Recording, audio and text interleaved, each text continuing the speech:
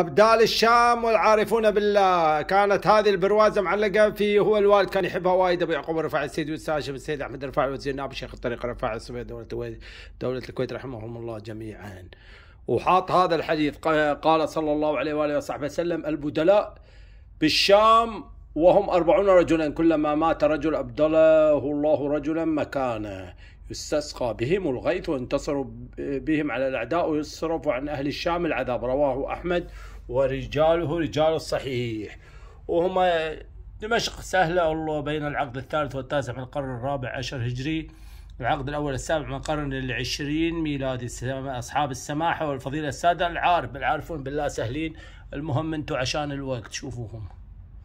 الله قدس الله سرهم. الوالد كان يقول اللهم أدم ديم الرضوان عليهم وأمدنا بالأسرار التي أودعتها لديهم. أنا عشان الوقت.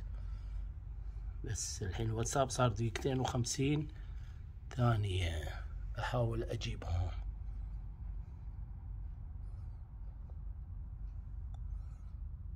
سبحان الله.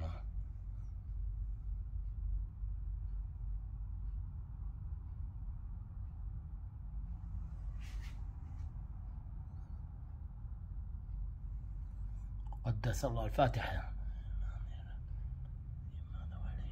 الضالين آمين. أنتم ركزوا على الأسماء بعد وصورهم منورة طبعا. وأساميهم اللي تحت ما نبخسهم. رجع لهم مرة ثانية. على راسنا من فوق.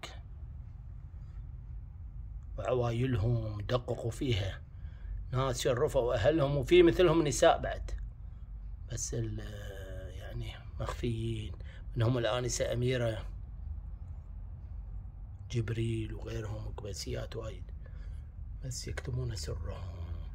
المهم إن أنتم حاولوا توصلون إلى ما وصلوا إليه. وإن شاء الله يعني هم مثل ما يقولون يعني أحياء. وسيدنا محمد صلى الله عليه وسلم لا تنسون يقول من عادى لي وليا فقد آذنته بالحرب. ومراتب يعني هو الوالد سيد السيد هاشم السيد أحمد الرفاعي أنا عندي وصل القطبية والغوثية. والله أعلم. بس هما سوريا هذول يعني وفي بالعراق ومصر والمغرب واليمن وكل دول العالم. إيران كل دول العالم المشرق والمغرب وأوروبا وأمريكا فيها مثلهم. الله أعلم. ودولة الكويت إن شاء الله.